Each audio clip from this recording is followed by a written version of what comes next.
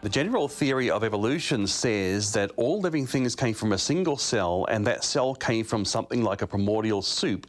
And for me as a chemist, the hardest problem for evolution is the origin of first life from non living chemicals, and this is commonly called chemical evolution.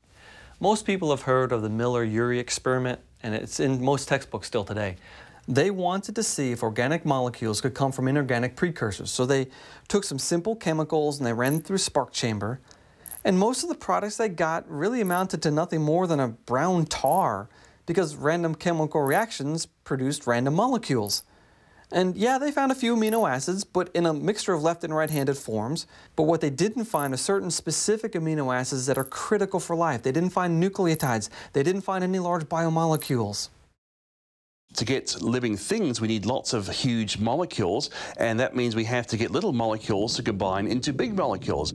Now, the problem is that chemicals don't react in that way. Everything I've learned in real chemistry shows that the reactions go in the opposite way from what's required for life to come from non living chemicals. Any chemist trying to do that would not have water in the reaction because water tends to drive the reaction in the opposite direction towards the little molecules. And yet the primordial soup would inevitably have loads of water in it. So it's the last place any real chemist would try to make proteins or DNA. Another problem with chemical evolution is called the chirality problem. Now, amino acids in proteins and sugars in DNA come in two mirror image forms, like your left hand and right hand. But all the amino acids in our body are left handed, and all the sugars in DNA are right handed.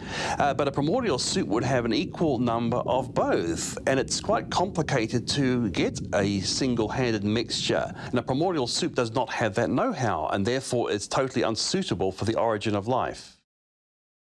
The most common scenario for the evolutionary origin of life is called the RNA world.